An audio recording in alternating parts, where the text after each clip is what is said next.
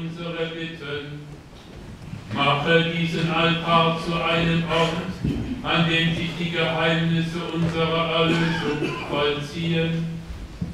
Hier bringe dein Volk dir seine Gaben und Gebete dar.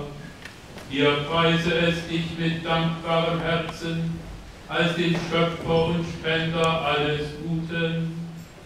Darum bitten wir durch Christus unseren Herrn. Amen.